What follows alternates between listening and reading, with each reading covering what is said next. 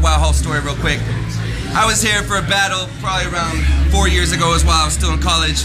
Uh, the homie Immaculate was battling in the finals against uh, this dude who came up from California named Infinite. It was a hard fought little battle in the final. Uh, Infinite actually was getting more love from the crowd, but the, the judges voted Immaculate the winner. It was probably a good like 10, 15 minutes of booing, but I have to say I can't front. I thought Immaculate won too, so you know the crowd, crowd is always gonna have you know a different opinion than the judges, but that's my funny story. It's it could be a lot better.